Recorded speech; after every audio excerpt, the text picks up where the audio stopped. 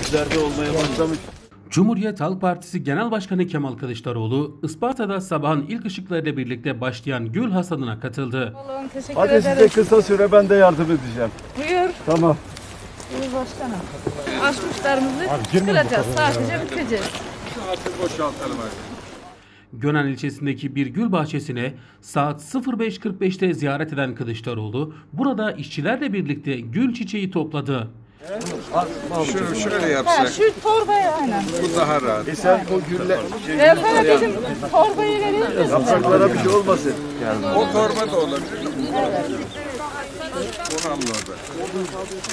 Başkanım bak şöyle bükeceğiz. Şöyle bükü bedenin kendi gidiyor. Sapıyla beraber. Evet şöyle bu, bu ucundan bükeceksin. Tamam. Beline gül çuvalını bağlayan Kılıçdaroğlu'na gül toplarken gül işçisi eşlik etti. Var herkesin görevi ayrı. Bizim de Alın mesleğimiz bu. teri. Alın teri. Evet alın terimiz bu. İşte biraz karşılığını alsak biz de memnun kalacağız başkanım bunlara. Nasıl başkanım iyi mi gül toplamak? İyi vallahi güzel. güzel. Kokunun içinde güzel. İşçi bu sene havaların kurak gitmesi nedeniyle gül çiçeğine verimin düşük olduğunu söyledi.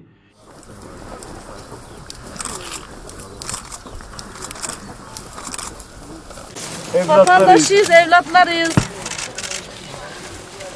Hepimiz de aynı kardeşiz, din kardeş. Kılıçdaroğlu Isparta denilince 83 milyon vatandaşın aklına gül geldiğini belirtti.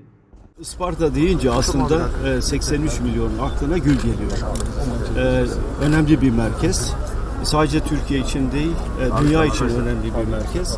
Gülün desteklenmesi lazım. Gül üreticilerinin desteklenmesi lazım. E, bu yıl fiyatın en az 7,5 lira olması lazım. E, ayrıca buranın ar- aromatik bitkiler açısından da bir merkeze dönüştürülmesi lazım. Çalışan işçileri gördüm emek harcıyorlar, çalışıyorlar, üretiyorlar. Onlar bile fiyatın gül fiyatları, alım fiyatlarının şu ana kadar açıklanmamasından onlar da şikayet ediyorlar. Çünkü onlar eğer üreticiye iyi bir fiyat verilirse biz de e, iyi bir gelir elde ederiz diyorlar. E, hükümetten bekliyoruz. Arzu ediyoruz. Taban fiyat belirlensin. Dolayısıyla gül üreticisi şunun veya bunun eline düşmesin.